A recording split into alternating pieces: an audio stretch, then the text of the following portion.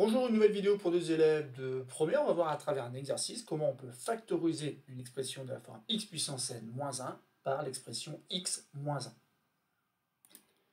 Pour trouver cette factorisation, on va répondre à deux consignes. La première, c'est de démontrer que pour tout réel x, on a certaines égalités que je vous laisse découvrir. Et ces égalités-là vont vous permettre de comprendre un petit peu comment cela fonctionne. Et donc, vous serez capable, à la consigne numéro 2, pour un n antinaturel quelconque supérieur à ou égal à 2, trouver donc un polynôme q de x tel que x puissance n moins 1 soit bien égal à x moins 1 facteur de q de x.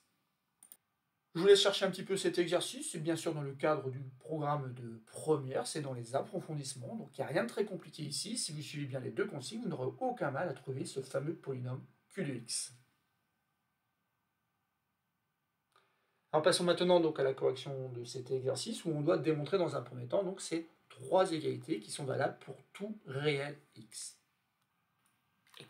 Et comment démontrer ces égalités? Tout simplement en passant plutôt de la droite vers la gauche, car factoriser, c'est un problème un peu délicat. Par contre, développer, on sait très bien développer en classe de première.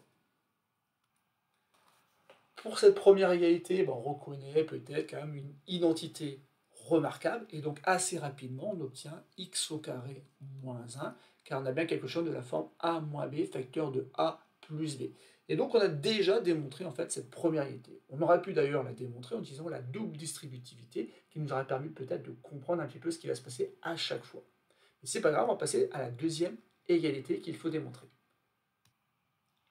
Et cette fois-ci, donc pas d'identité remarquable. Néanmoins, on peut prendre tout simplement le terme x est multiplié par x au carré, et on obtient donc x au cube. Ensuite, donc, je reprends le terme x que je multiplie donc par x et j'obtiens x au carré. Et je continue comme cela en prenant le, donc, le terme x et en multipliant par 1, j'obtiens tout simplement x. Et ensuite, j'en ai fini donc avec x et maintenant j'ai tout multiplié le contenu des parenthèses par moins 1. Et j'obtiens donc moins 1 multiplié par x au carré qui me donne moins x au carré. Ensuite, je recommence, je reprends moins 1, je multiplie par x et j'obtiens donc moins x. Et enfin, le dernier terme que j'obtiens en développant, c'est moins 1 multiplié donc par 1 et j'obtiens donc moins 1. Et ensuite, regardons ce qui se passe. Donc, le terme x au cube, lui, bah, il va rester. Par contre, on a x au carré moins x au carré. Bah, ça va s'annuler, mais on a aussi plus x moins x.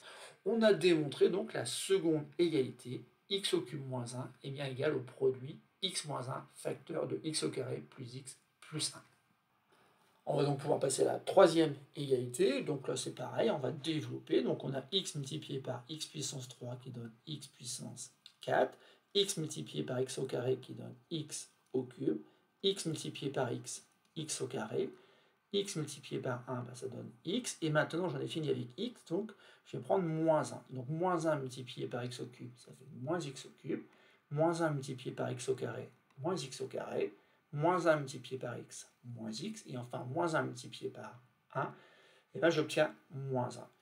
Et maintenant, on va regarder ce qui se passe. Donc le terme x puissance 4, on va le garder. Par contre, on a x puissance 3, mais moins x puissance 3 aussi. Et donc ça s'annule. x au carré, mais on a aussi moins x au carré, plus x, moins x, et il nous reste donc moins 1. On a là encore réussi à démontrer cette dernière égalité pour cette première consigne, x puissance 4 moins 1 est bien égal à ce produit.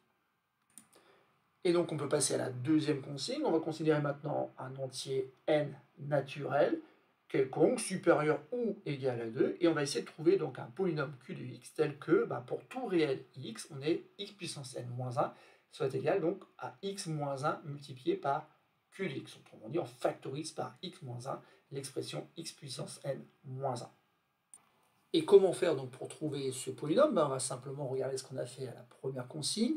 Et on voit qu'à chaque fois, en fait, on a un produit qui se ressemble à chaque fois. Ben, un petit peu, puisqu'on a x moins 1 facteur d'un d'un polynôme, d'une expression qui dépend de x, avec ici x plus 1, mais après on a x au carré plus x plus 1, ou encore x au cube plus x au carré plus x plus 1. Et donc on a quand même l'impression à chaque fois que eh ben, on a x moins 1 facteur d'un truc qui n'est pas si compliqué que ça à déterminer. On peut imaginer tout simplement ici que ce sont les puissances de x décroissantes en commençant tout simplement avec un petit décalage ici, puisqu'on a x au cube, on va commencer à x au carré, puisqu'on avait x puissance 4, on va commencer à x puissance 3. Et donc on va considérer un n peut-être plus grand que 2, hein, bien plus grand que 2, puisque pour n égale 2, bah, c'est déjà fait, n égale 3 aussi, n égale 4, donc prenons un n suffisamment grand. Et regardons ce que donne, pour tout réel x, le produit x moins 1, facteur de x alors à la puissance euh, n-1, plus ensuite ben, x à la puissance ben, n moins 2, autrement dit j'enlève encore 1 à l'exposant, plus etc. jusqu'à donc plus x plus 1.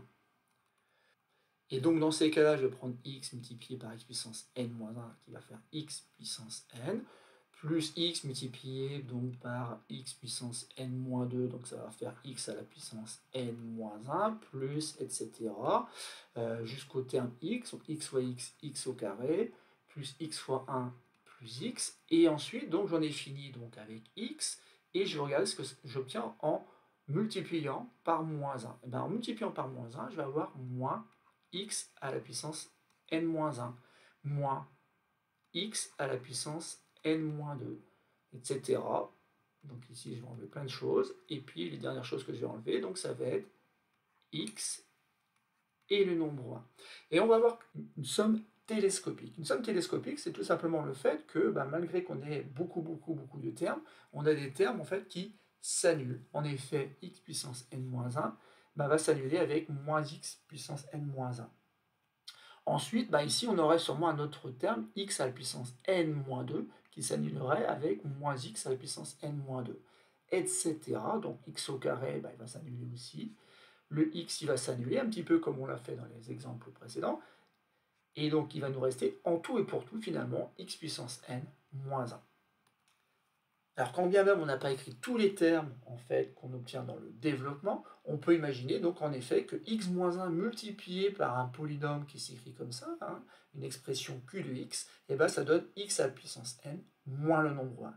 Donc notre polynôme q de x c'est tout simplement celui qu'on a écrit ici. Et donc c'est terminé pour cette vidéo, on a déterminé donc le polynôme q qui va bien, celui qu'on obtient en factorisant donc x puissance n-1 par x-1.